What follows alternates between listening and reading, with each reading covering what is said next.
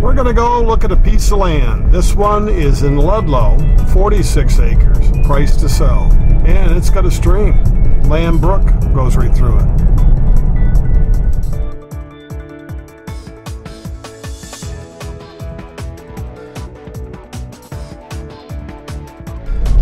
Hello, I'm Maine Realtor Andy Mooers. We're going to head out the Ludlow Road, which means we go by Walmart, shop and save. This one's not far from town. Just off the interstate exit 291 at Smyrna.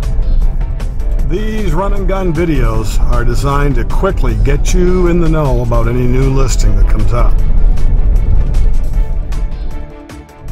Ludlow is west of Houlton. It's a bedroom community, three by six miles, about 425 people. Mostly farms, woodlots. It's a bedroom community for Houlton.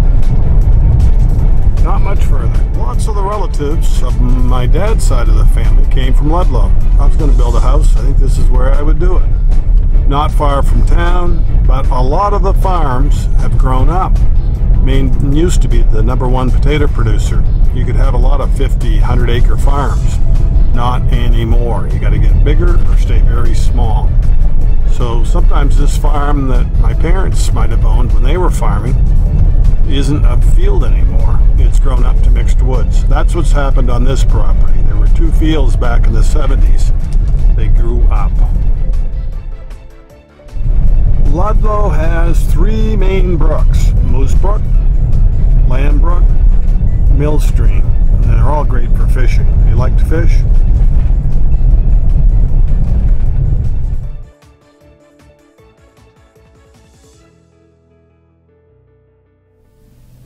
This land has most of the road frontage eaten away in house lots, so it's the land behind the outparcels along the Ludlow Road.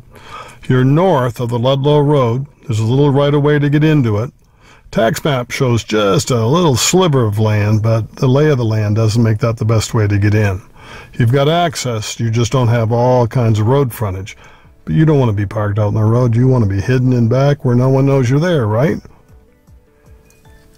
See along the road, that's the out parcels. And then when you match it up with the map, you can see, okay, it's 46 acres of land behind a series of country homes. Does it look crystal clear? Do you understand the real estate puzzle? Reach out. If I don't do a good job explaining and you don't get it, it means I need to do it again in a better way. We'll help walk it, show you the property, and explain where the town office is, who the town manager is, basically to give you the lay of the land. I'm Maine Realtor Andy Mooers. If you have questions about this Maine piece of land, this property listing that's 46 acres in Ludlow, reach out. Let's connect. Let's talk about it. They do come and go quickly. When it's gone, don't worry, we'll make more. But since COVID happened, everybody wants a piece of Maine, and can you blame them? This would be a nice place for a farmstead, for four or five guys that like to hunt and fish to have a camp, or just an investment. Kind of a safety insurance net. If you just don't want to stay where you are in the city, you know where you're going if things get too hot in the kitchen. We'll see you next time on the Maine Real Estate Channel. Thanks for watching. Don't forget, subscribe to our channel and like this video. Please make comments down below. In the Show More region, you will see a lot of links to the website, how to get hold of us, the price, everything is in there down below.